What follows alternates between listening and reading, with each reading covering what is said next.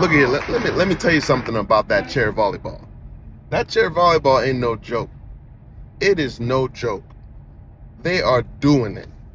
The thing about chair volleyball is a lot of people don't understand. It's not about agility.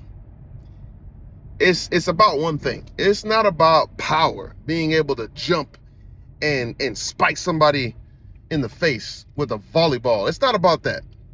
It's about one thing. It's about these fingers. It's about them fingers. It's a. It. It's bah. It's hey, watch out. Hey, hey, Miss Betty with them fingers, man. She'll she'll pluck an eye out. That ball hit you right in the face. I tell you. Come on now. Ain't nothing like some good old chair volleyball. I'll tell you that. I'll tell you that. Go ahead, ladies. And that one guy, I see you, gentlemen. I see you, sir. Go ahead. Hey, it's that chair volleyball.